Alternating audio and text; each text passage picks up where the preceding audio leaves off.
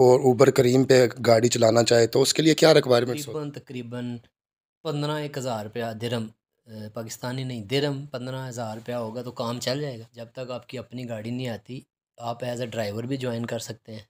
ठीक है? आप उसमें एज अ ड्राइवर कंपनी की गाड़ी चलाएँगे जब तक आप क्या आप दुबई में ऊबर करीम पे कैसे काम कर सकते हैं? आज हम टेस्ला का रिव्यू आपको देंगे। हमारे साथ एक हमारे दोस्त मौजूद हैं जो ऑलरेडी टेस्ला गाड़ी चला रहे हैं। तो हम चलें हम उनसे बात करते हैं। अस्सलाम वालेकुम भाई। वालेकुम सलाम। सबसे पहले आप हमारे व्यूवर्स का अपना तारफ़ कराएँ आप बताएँ आपका क्या नाम है और आप कहाँ से हैं? जी भाई मेरा नाम साकिब है राजा साकिब गुजरात से। पाकिस्तान गुजरात से हूँ और पिछले कुछ अरसे से दुबई में हूँ काम कर रहा हूँ। आपको दुबई में कितना टाइम हो गया? दुबई में बहुत टाइम हो गया भाई मुझे दस ग्यारह साल हो गए। तो अभी आप ड्राइविंग दस ग्यारह साल से आप ड्राइविंग ही कर रहे हैं? नहीं नहीं मैं ड्राइविंग अभी शुरू की है। तकरीबन हो गया छः सात माह हुए तो अभी शुरू की है मैंने। तो पहले, पहले आप क्या करते थे? पहले मैं एक और किसी एक कंपनी में काम करता था एक एज अ सुपरवाइज़र तो अभी गाड़ी में क्या सिस्टम मतलब कौन सी कंपनी के साथ आप चला रहे हैं? कंपनियाँ तो इधर बहुत हैं गाड़ी की। वो तो बंदे का जिधर हो जाए सेटिंग हो जाए या तलकात या नेटवर्क वैसे मेरी जो कंपनी है वो अलसलाम है इस टाइम वो दुबई की समझे कि पहले नंबर पे कंपनी है लेमोजीन फ़ील्ड में टैक्सी फ़ील्ड में। आप लेमोजीन चला रहे हो ऊबर करीम पे? हाँ जी मैं लेमोजीन चला टेस्ला गाड़ी चला रहा हूँ। टेस्ला हाँ जी। तो अगर कोई पाकिस्तान से बंदा फ्रेशर आना चाहे और ऊबर करीम पे गाड़ी चलाना चाहे तो उसके लिए क्या रिक्वायरमेंट्स होती? जो बिल्कुल पाकिस्तान से आएगा भाई उसके लिए थोड़ा लंबा प्रोसीजर हो जाता है और थोड़ा उसके लिए ज़्यादा इन्वेस्टमेंट हो जाती है जो फ्रेश आएगा ज़ीरो इस काम में ख़ास तौर पे। क्योंकि इसमें आपको वीज़ा चाहिए, इसमें आपको वीज़ा तो चलो लग जाएगा वो तो तब।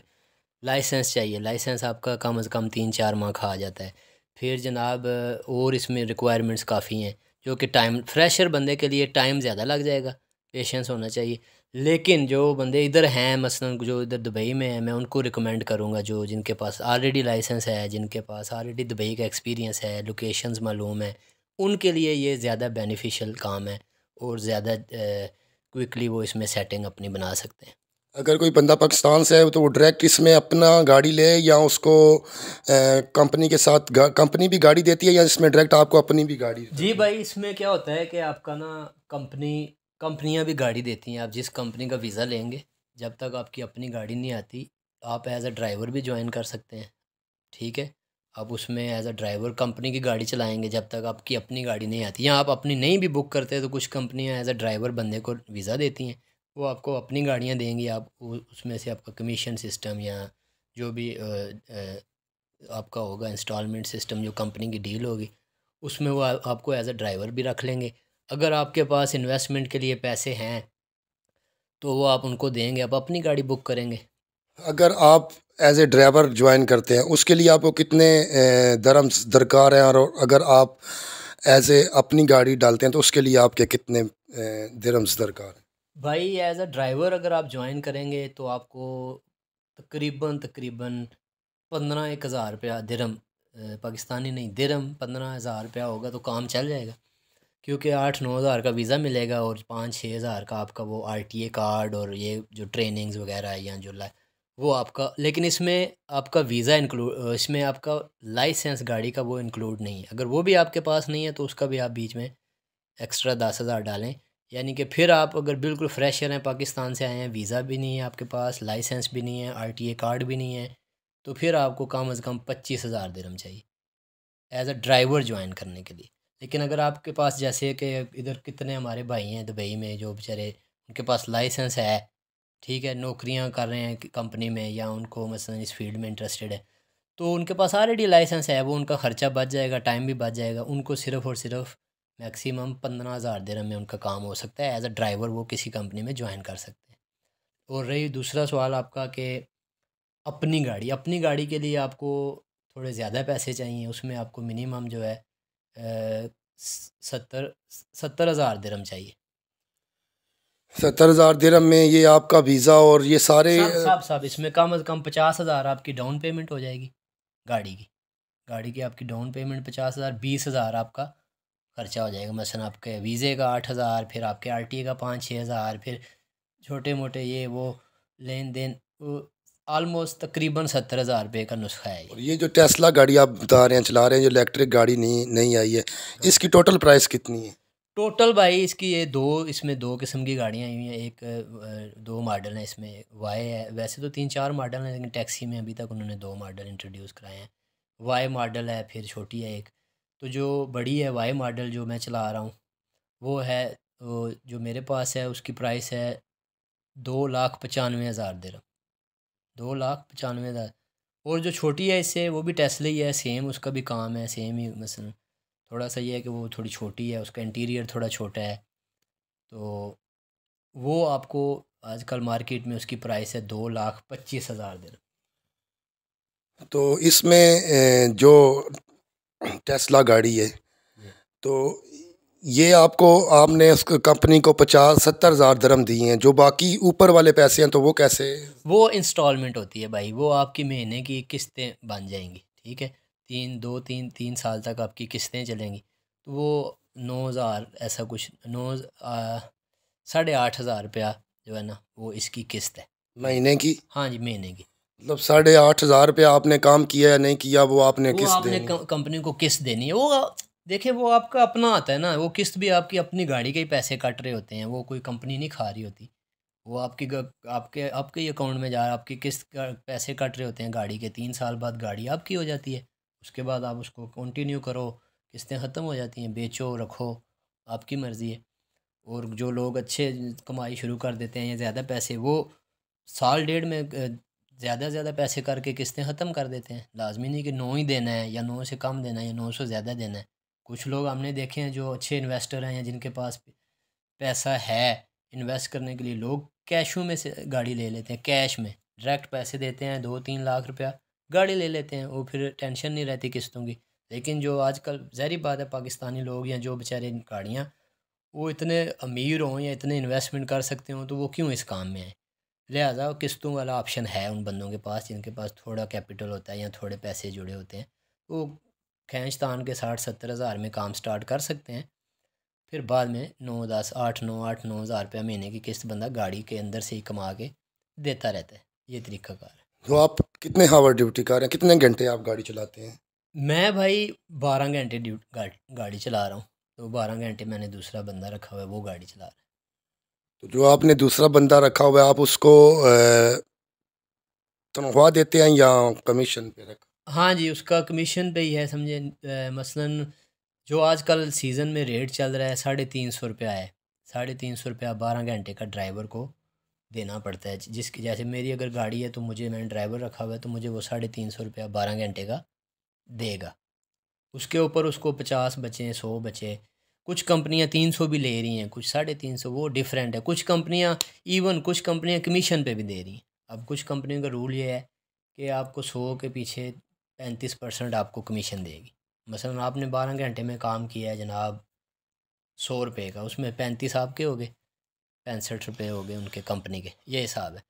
तो ऐसे है अगर हज़ार रुपये का काम किया तो उसमें से कमीशन के हिसाब से पैंतीस परसेंट आपको मिल जाएगा बाकी जो है वो कंपनी के कंपनी को मिलेगा या जो गाड़ी का ओनर होगा उसको मिलेगा। तो ये तो हिसाब तो इस फ़ील्ड में सिर्फ़ दुबई में उबर करीम में टेस्ला के अलावा और कौन कौन सी गाड़ियाँ चल रही हैं? अब तो इस फ़ील्ड में भाई बहुत गाड़ियाँ आ गई हैं। पहले इसमें लेक्सेस ही थी, अब तो इसमें टेस्ला आ गई है, फिर जनाब इसमें बी एम डब्ल्यू आ गई है, इसमें आपकी आ गई है मर्सडीज़ बेंज है, जनाब लेक्सिस है, फिर जनाब इसमें हाई लैंडर है। इसमें तकरीबन पाँच छः डिफरेंट किस्म की गाड़ियाँ आ गई हैं, क्योंकि ये काम पिछले कुछ सालों से काफ़ी अरूज पे चला गया है। बिज़नेस का बिज़नेस है और उसके बाद इनकम भी है प्रॉफिट भी है और हर दूसरा बंदा इस तरफ़ फोकस कर गया है काफ़ी काम ऊपर चला गया हुआ है। तो प्राइस सब गाड़ियों की सेम होती है या नहीं सेम नहीं होती भाई। प्राइस तो ज़हरी बात है डिफरेंट होगी गाड़ियों की। तो इंस्टॉलमेंट भी उस हिसाब से पाँच सौ हज़ार दो हज़ार का फ़र्क आता है। जो बड़ी गाड़ियाँ हैं जैसे कि अब आपको जैसे मर्सडीज़ बेंज है या बी एम डब्ल्यू जो जितनी गाड़ी की कीमत हाई होगी प्राइस ज़्यादा होगी उसकी उतनी किस्त ज़्यादा हो जाएगी क्योंकि उधर ही फिर बात चली जाती है। तो आप फ़ील्ड के वाले से आपके नज़दीक सबसे इस टाइम बेस्ट गाड़ी कौन जा रही है? कौन सी जा रही है उबर करीम उबर करीम में भाई मैं अगर मुझसे कोई पूछेगा या जैसे जो बंदा जो चलाता है शायद उसका बोलता होगा लेकिन मैंने जो ए, मेरा जो तजर्बा है या एक्सपीरियंस है कुछ माह से या वैसे भी दोस्तों से सुन के सुना के मेरा तजर्बा ये कहता है कि टेस्ला इसमें आज कल कल का पता नहीं क्योंकि हर फ़ील्ड में ऊपर नीचे उतार चढ़ाव आते रहते हैं। आज कल जो अभी जो इसका फीडबैक है या इसका आउटपुट है टेस्ला इस टाइम टॉप पे जा रही है ऊबर करीम में या टैक्सी फ़ील्ड में। तो टेस्ला में तो ना इंजन है ना उसमें वो पेट्रोल है तो फिर चार्जिंग है उस पर आप कैसे मैनेज करते हैं? अगर आप बारह घंटे चलाते हैं तो कस्टमर नहीं है कस्टमर को आप तो उसका चार्जिंग कैसे मैनेज करते हैं? वो चार्जिंग हो जाती है मैनेज भाई क्योंकि उसकी 500 किलोमीटर की रेंज 500 छोटी गाड़ी जो है उसकी 570 किलोमीटर रेंज है। जो बड़ी वाई मॉडल है, उसकी 530 किलोमीटर रेंज है। तो 530 550 बड़ी काफ़ी ज़्यादा रेंज है, इसमें मैनेज हो जाता है। क्योंकि आप किधर भी लॉन्ग ट्रिप तो आपको हर टाइम नहीं मिलता है कि आपको इधर से कोई सऊदी लेके जा रहा है या अबू धाबी भी इधर से 110 किलोमीटर है, शारजा 50 किलोमीटर है तो वो मैनेज हो जाता है। वो कोई इशू नहीं है क्योंकि हर शहर में चार्जर लगे हुए हैं, और भी लग रहे हैं, क्योंकि गाड़ियाँ बढ़ रही हैं तो फिर जहरी बात है कंपनी चार्जर्स के बारे में सोच रही है। तो वो कोई इतना बड़ा इशू नहीं है। हाँ टाइम ज़रूर लेता है चार्जर वो टाइम वेस्टिंग है, क्योंकि जिधर भी आप जाएँगे घंटे, एक घंटे में बैटरी फुल होती है। तो वो टाइम का मैं ज़रूर बोलूँगा, वो थोड़ा सा ज़ाया होता है बंदे का, थोड़ा सा वो नुकसान, लेकिन वो नुकसान नहीं गिनती होता है, क्योंकि काम जिस तरह इसको मिलता है ऊबर क्रीम पे या जिस तरह ये काम करती है टेस्ला नस्बत बाकी गाड़ियों के, वो बंदे को दुख नहीं होता है, घंटा चार्जिंग वेस्ट नहीं होता है, क्योंकि वो अगले घंटे में कवर कर देती है। तो चार्जिंग का कोई इसको मैं वो नहीं बोलूँगा इसका नेगेटिव पॉइंट नहीं है। है ज़रूर है लेकिन इस इससे इतना कोई काम इफ़ेक्ट नहीं होता है। हो ही जाता है मैनेज कभी कोई गाड़ी हमने तो नहीं देखी कि कहीं रोड पे खड़ी है और वो बोल रहा है कि यार मेरी तो चार्जिंग ख़त्म हो गई। ऐसे नहीं होता है मैनेज हो जाता है। और ये जो आप चार्जिंग दुबई में चार्जर लगे उसके आप पैसे पे करते हैं या फ्री में चार्ज करते हैं? चार्जर हैं भाई दो किस्म के चार्जर हैं। फ्री वाले हैं, फास्ट चार्जर हैं, वो फ्री वाले हैं। तो दूसरे जो पम्प पेट्रोल पम्प्स वगैरह पे लगे हुए हैं, वो पेड हैं। उनमें क्या है कि वो जैसे दीवा का बिल आता है आपका, रूम में आपकी बिजली का बिल आता है या जिस तरह, उस तरह का सीन है, वो आपको महीने के बाद आपका बिल आएगा। तो आप उसको पे करेंगे वो इतना क्या है हज़ार बारह सौ पंद्रह सौ के लगभग आता है अगर आप रेगुलर पेट्रोल पंप वाला चार्ज करें। लेकिन जो दूसरे हैं फास्ट चार्जर मॉल्स वगैरह में या बड़े होटलों में लगे हुए हैं फाइव स्टार होटलों में थ्री स्टार होटलों में वो वाले चार्जर्स फ्री हैं। वो फास्ट चार्जर हैं और फ्री हैं उनकी कोई पेमेंट नहीं है। तो आप हमारे व्यूवर्स को लास्ट में क्या मैसेज देना चाहेंगे? मैं जो यही मैसेज देना चाहूँगा जो इस काम में इंटरेस्टेड हैं जो इस वीडियो को देख के इससे कुछ सीखना चाह रहे हैं या इसका आउटपुट चाह रहे हैं या मैसेज सुनना चाह रहे हैं तो मैं उनको यही बोलूँगा कि बेफिक्र हो के अगर वो इस काम में स्टेप रखना चाह रहे हैं, ज़रूर रखें, मोस्ट वेलकम। अच्छा काम है। पैसों के वाले से, प्रॉफिट के हवाले से भी अच्छा है और सबसे बड़ी इस काम में मैं जो बोलूँगा, वो ये है कि इसमें आज़ादी है, बंदे को किसी का मसलन, बंदा किसी के अंडर काम नहीं करता है, कंपनियों का बिहेवियर अच्छा है, उसके बाद गाड़ी आप चला रहे हो, आपकी, आप इंडिपेंडेंट हो, आप किसी के वो नहीं हो कि आपको कोई शाम को आपने किसी को रिपोर्ट करनी है या शाम को आपने कोई सैलरी सिस्टम नहीं है। और दूसरा इसमें यह है फ़ायदा कि अप एंड डाउन तो हर काम में होते हैं, मैं ये नहीं कहता कि इसमें सिर्फ़ प्रॉफिट है, नुकसान भी हैं, कभी काम नीचे भी चला जाता है, कभी नुकसान भी होते हैं, एक्सीडेंट भी हैं ये चीज़ें भी हैं, गाड़ी के सिस्टम, सारे खर्चे, वो सारी चीज़ें हैं, लेकिन उन सबको मद्देनज़र रखते हुए उसके बावजूद मैं ये बोलूँगा कि ये एक अच्छा काम है, आजकल टॉप पे जा रहा है दुबई में। और फ़ायदेमंद काम है, जो इस काम में इंटरेस्टेड हैं और जिनको कैपेसिटी है पचास, साठ, सत्तर हज़ार दिन इन्वेस्ट करने की, वो किसी और तरफ़ ना जाएँ। इस काम में अगर आना चाहते हैं तो मोस्ट वेलकम इन वो कामयाब होंगे। चलें जी, आपने हमें टाइम दिया, हमें बहुत अच्छा लगा। थैंक यू भाई तो व्यूवर्स जैसा कि आपने देखा और सुना, हम आपको टेस्ला का रिव्यू दे रहे थे। अगर आपके जहन में कोई भी क्वेश्चन हो तो हमें कमेंट्स बॉक्स में ज़रूर बताइएगा। मिलते हैं नेक्स्ट ब्लॉग के साथ। अपना ख्याल रखिएगा। अल्लाह हाफिज़।